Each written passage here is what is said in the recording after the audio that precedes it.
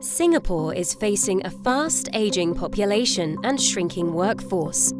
It is essential for Singapore's healthcare system to innovate, seek new ways to improve productivity, and add value to our patients. This ensures that our patients will continue to receive high quality and cost effective care in the future. We see a lot of patients who need a lot of um, ongoing therapy to you know, recover from their stroke, from their spinal cord injuries, uh, traumatic brain injuries, etc. In current situation, uh, there'll be times when due to uh, accessibility issues, uh, financial issues, uh, and even uh, availability of clinical slots, etc. There may be times when outpatients do not get the optimal um, support that they need. The current visitor chairs in the wards, they are most of the time for single use and not very comfortable for a caregiver who needs to stay for a long duration of time to take care of their loved one or accompany their loved one. Um, the chairs cannot really be used for patient rehabilitation at the same time. The earlier years, uh, the hospital has uh, various services and programs that actually help to deal with uh, patients with complex uh, needs. These services actually uh, cater to different uh, groups of patients with uh, different needs in the community, but they have overlapping services as well. So that in a way has a kind of a, pose a challenge to the patients because when patients get readmitted, they'll be approached by different person from different team. So in a way, patients will get confused. When they go home, they won't know who to call or who to contact. The Centre for Healthcare Innovation is positioned as a co-learning network to do three things. The first, to build thought leadership. The second, to drive workforce transformation. And the third, to enable workplace learning through new pedagogies. Using our mental model of the innovation cycle, we hope to fuel innovation and improvement that leads to workforce transformation to keep our formal workforce current and relevant and our informal workforce activated towards better health. Now, what does innovation mean to us? At CHI, we believe that innovation occurs in a cycle. It all begins with care redesign, where we look at the entire ecosystem, what jobs are doing nowadays, and how the workforce must transform to deliver care. And where it has its place, then technology comes in, whether it's in the form of IT or robotics to improve productivity and to reduce waste.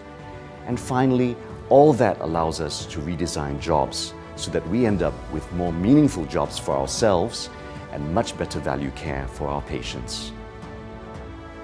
So using this uh, tele-rehabilitation approach uh, with a virtual reality application, we are looking at creating a service whereby patients can be uh, monitored at home while they are doing the exercises and therefore uh, that saves them uh, resources that they do not have to travel down uh, to the clinic but yet we are able to uh, deliver care to them.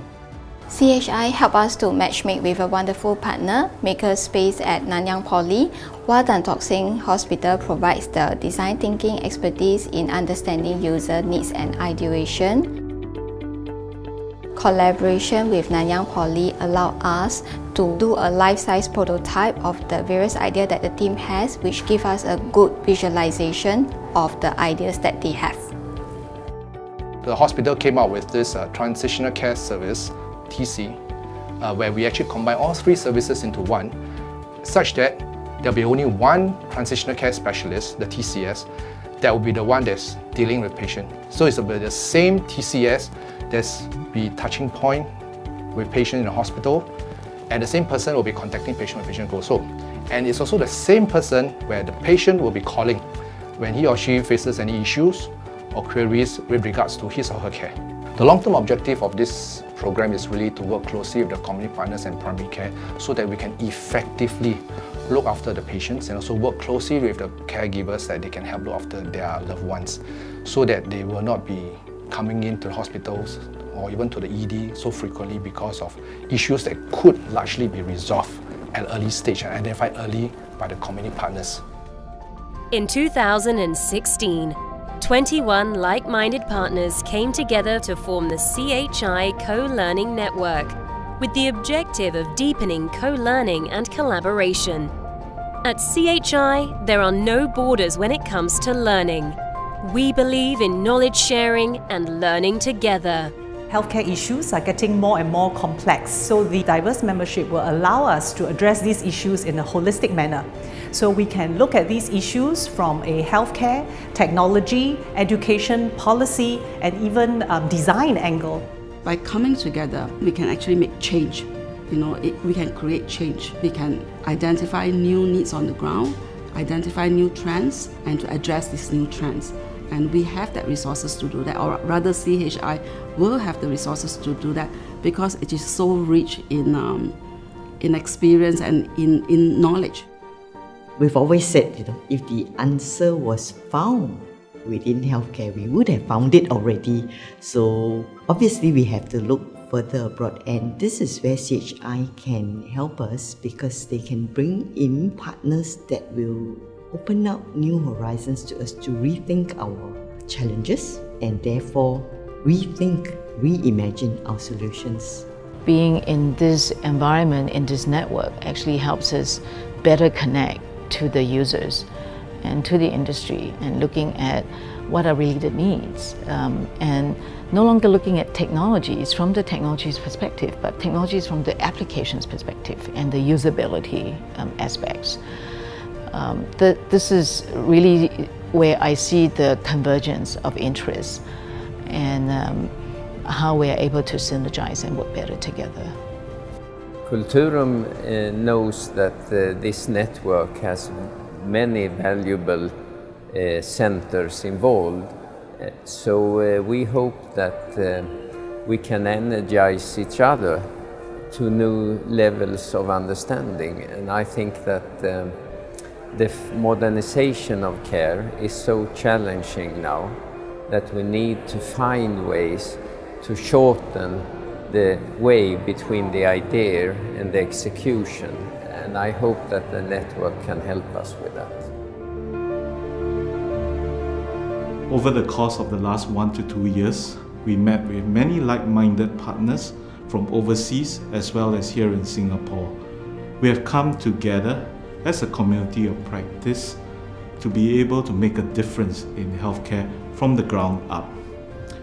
To quote my favorite movie, that you are here, that life exists, and identity, and the powerful play goes on, and that you may contribute a verse. Through our collaboration with thought leaders, both local and international, we hope to not only keep pace with scalable improvements, but to disrupt current care delivery paradigms to do better.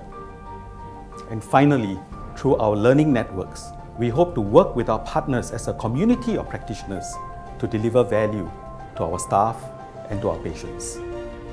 Well, we're very lucky to have two important assets that we'll be very happy to share with our network partners. First of all, the Ng Teng Fong Healthcare Innovation Program. Now that's a grant that will help projects that are involved with care redesign and device innovation. And number two, we've got a building, the Ng Teng Fong Center for Healthcare Innovation. That's a nine-story building packed with conference facilities that we can get together, learn, think and plan for the future.